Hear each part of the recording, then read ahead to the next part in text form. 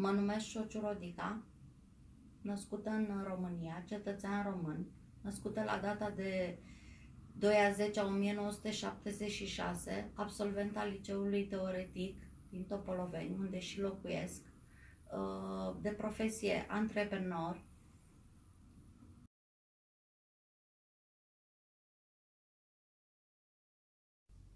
În anul 2016, undeva în vară, am hotărât ca eu să mă angajez. Am mers în orașul în care locuiesc, la un supermarket.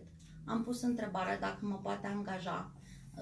Domnul ar fi dorit, dar mi-a spus că sistemul nu-i dă voie, că nu ar, nu-și permite pentru că nu are rampă accesibilă pentru mine, toaletă, iar atunci eu am hotărât ca eu să-mi fac uh, ceva pentru mine ca să-mi ocup ocupația și un mic venit.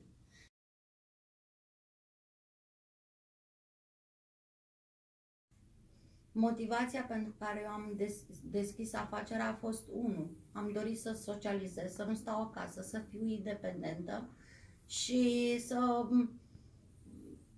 socializez în primul rând și al doilea rând să fie un venit în plus în uh, familia din care fac parte.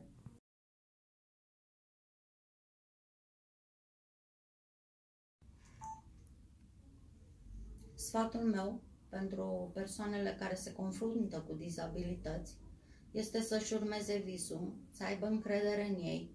Uh, totul se poate cu pași mici și foarte multă încredere și fără foarte mari așteptări la început.